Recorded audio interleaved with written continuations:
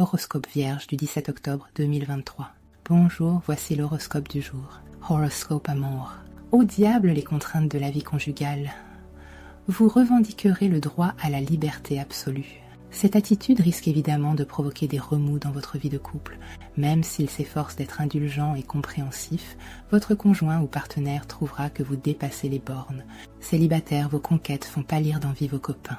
Cependant, ces aventures expresses ne vous comblent pas. Prenez donc le temps d'approfondir la relation que vous allez entamer ce jour. Vous ne le regretterez certainement pas.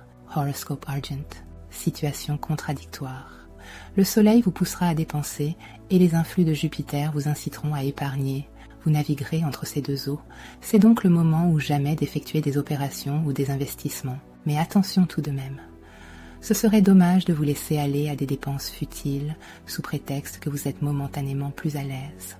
Horoscope santé.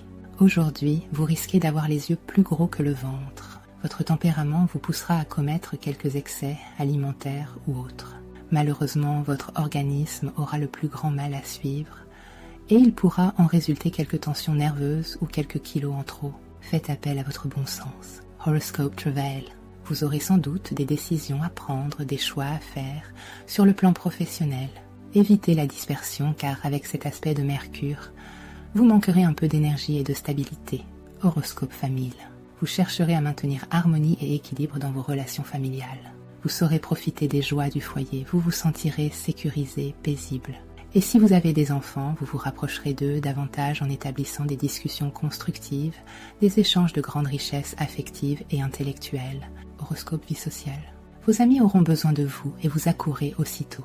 Même s'il vous arrive d'avoir avec eux de profondes divergences d'opinion, cela n'entamera pas votre affection à leur égard.